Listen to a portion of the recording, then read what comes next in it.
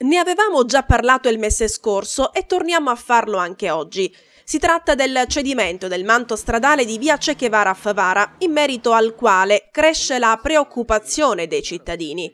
Questa mattina, in seguito alla richiesta da parte dei residenti, una troupe di Sicilia TV ha effettuato nuovamente un sopralluogo, constatando come il manto stradale crollato, a distanza di poco più di un mese, si sia allargato fino a raggiungere quasi la porta di ingresso di un'abitazione.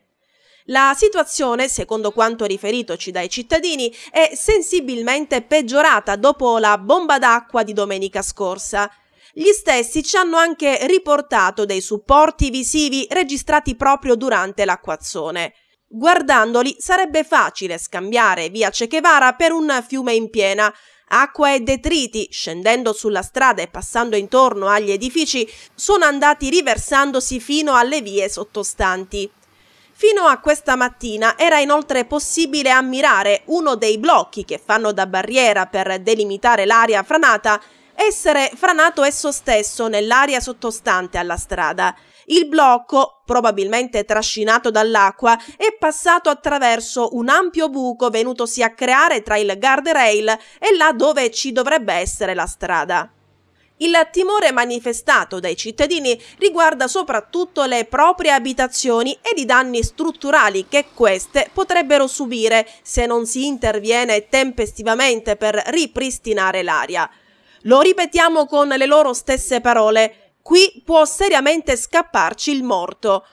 Non si tratta dunque di soli problemi alla viabilità, che pure sussistono, ma della incolumità degli stessi residenti, che ci riferiscono di essersi più volte rivolti al comune e alla protezione civile paura. È questo lo stato d'animo dei cittadini per una situazione che, se è peggiorata solo con un acquazzone di media intensità in pieno periodo estivo, rischia di intensificarsi ulteriormente con le prime piogge della stagione autunnale. La pioggia di domenica scorsa ha fatto paura a tutti, quindi sempre si allarga di più e noi non sappiamo più a chi rivolgerci o pensiamo che eh, deve scappare morto per poi fare delle fiaccolate come al solito si usa a Favara oppure dite, eh, ce lo devono dire loro a chi ci dobbiamo rivolgere, andiamo al prefetto, andiamo dai carabinieri, non lo so io cosa bisogna fare. È un pericolo per la nostra casa perché abita mia suocera già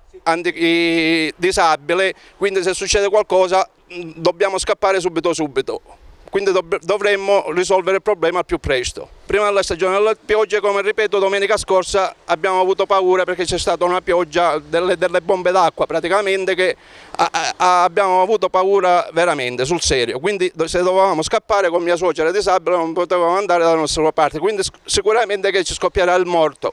Dopo il morto poi facciamo le fiaccolate come al solito si usa a Favara. Noi ci siamo rivolti al comune più di una volta, anche alla protezione civile e e non, non, ci hanno dato risposta. Il comune ci ha detto, quando è venuto a sigillare la volta scorsa, ci ha detto che già stanno dando l'appalto, ma dopo un mese o più ancora non si è visto nulla. Sulla questione era intervenuto in merito lo scorso mese l'assessore ai lavori pubblici al comune di Favara, ingegnere Amodeo Nicotra. Lo stesso spiegava come in via Cechevara occorre ripristinare un muro di sostegno e sistemare la sagomatura stradale e il drenaggio dell'acqua. Per questi lavori, puntualizzava Nicotra, si aspettava che l'ANAS validasse una convenzione con il comune per poter usufruire dei fondi necessari a finanziarli. A proposito, chiediamo pubblicamente all'assessore Nicotra a che punto è giunta la validazione di questa convenzione. L'auspicio è che si disbrighino al più presto i tempi burocratici per la messa in sicurezza del manto stradale di via Cechevara, Occorre tempestività, ne va dell'incolumità, lo ripetiamo ancora una volta, dei cittadini.